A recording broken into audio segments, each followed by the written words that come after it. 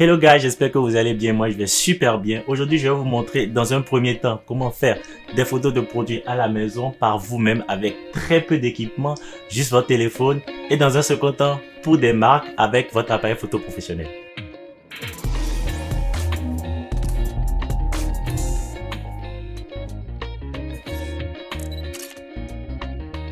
J'ai commencé la photo depuis 2012 et comme tout le monde, j'avais pas de gros équipements.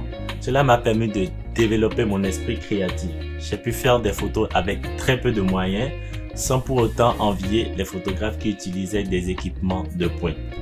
Donc je vais vous montrer dans un premier temps comment faire des photos de produits avec un simple téléphone.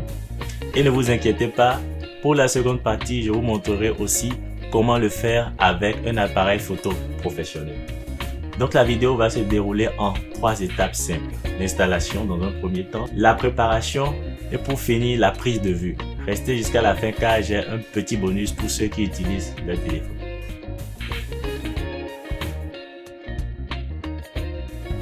Déjà, il fallait choisir un produit. Donc, je suis juste allé à Dollarama. Ce sont des magasins ici au Canada sont réputés pour vendre des articles pas chers. Donc j'ai pris un parfum qui m'a coûté 5 dollars et aussi j'ai pris un papier dur blanc qui allait me servir d'arrière-plan sur la photo. Il coûtait aux alentours de 1 dollar. L'idée ici était de poser le produit sur une surface stable. J'ai donc décidé d'utiliser ma table. Vous pouvez utiliser une autre surface aussi.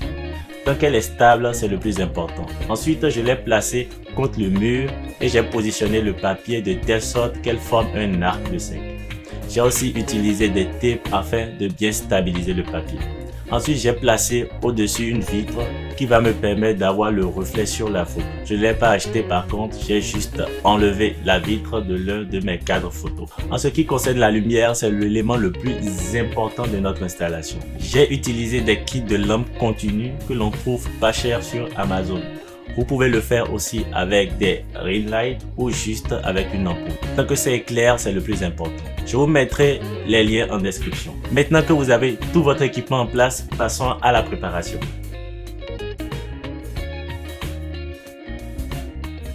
Pour les photos de produits, c'est très important de nettoyer le produit.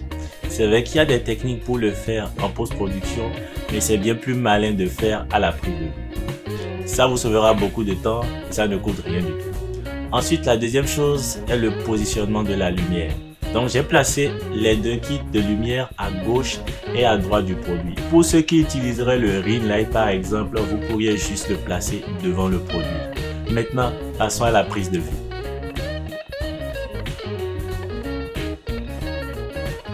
Une fois que tout est placé, vous avez juste à prendre votre photo. Il est important d'être à hauteur égale du sujet ou légèrement plus haut. Je vous conseille aussi fortement de nettoyer l'écran de votre appareil photo et utiliser la caméra arrière, surtout pas la frontale. Donc voilà comment faire euh, une photo de produit que vous pouvez faire facilement chez vous. Mais si comme moi vous travaillez pour de gros clients, vous aurez euh, sans doute besoin de passer à une étape supérieure. Donc vous verrez qu'il n'y a pas si grande différence que cela. Déjà, l'installation reste le même, à la simple différence que je vais remplacer les deux lumières continues par un flash équipé d'un moduleur de lumière. Le modulaire de lumière que j'ai utilisé ici est un softbox. Elle a pour effet de rendre la lumière douce. Nous avons plusieurs types de moduleurs de lumière et j'en utilise plein d'autres pour mes photos. Dites-moi en commentaire si ça vous intéresse, j'en ferai une vidéo spécialement sur cela. Alors, comment j'ai placé la lumière? Ici, j'ai placé la lumière au-dessus du produit et légèrement décalé vers la droite. Cela va me permettre d'avoir un très bon dégradé sur la photo. En effet, ce sont les ombres qui créent le volume.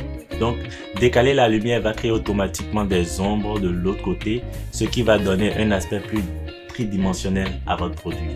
Alors ici, j'ai utilisé un 100 mm macro de 2.8 de chez Canon. Pourquoi un objectif macro Car ils sont réputés pour euh, avoir de très gros piquets. Le piqué, c'est le degré de netteté de la photo. Si vous n'avez pas un objectif macro, ce n'est pas grave mais préférez des longues focales que des petites. Par exemple, si vous avez un 50 mm, un 75 mm, choisissez le 75 mm car plus le chiffre sera grand, plus vous aurez moins de déformation sur le produit. Alors pour la prise de vue comme celui du téléphone, je devais me placer à hauteur presque égale du produit. J'ai donc utilisé mon trépied pour stabiliser la caméra. Petite mise en garde, si vous utilisez des objectifs stabilisés ou des boîtiers stabilisés, il est important de désactiver la fonctionnalité. Si vous ne savez pas de quoi je parle, c'est sûrement que votre appareil ne dispose, ne dispose pas plutôt de cette fonctionnalité. La première photo que j'ai prise avait déjà un bon rendu de base, donc elle sera mon choix principal. Mais j'avais besoin de plus de contraste sur la photo. Donc je ferai d'autres photos secondaires que je vais coupler avec la principale sur Photoshop.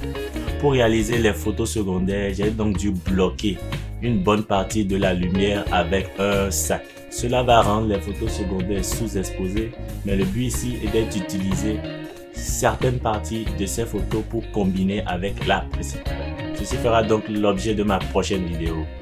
Donc dans la prochaine vidéo, la semaine prochaine, je vous montrerai comment éditer les photos que nous avons prises, autant sur le téléphone sur l'ordinateur. Le bonus dont je parlais est cette application Airbrush que j'utilise presque dans toutes mes retouches sur mon téléphone. Je vous conseille de l'utiliser, il est très puissant et gratuit. On s'en servira pour la prochaine vidéo. Donc abonnez-vous et likez si vous aimez la vidéo. Cela permet à YouTube de mieux me référencer et partagez cette vidéo à vos amis afin qu'ils s'occupent dans ce confinement et à la semaine prochaine pour la suite. Tchuss la première photo que j'ai prise avait déjà un bon rendu de base. Donc il fallait pour un second temps prendre différentes photos.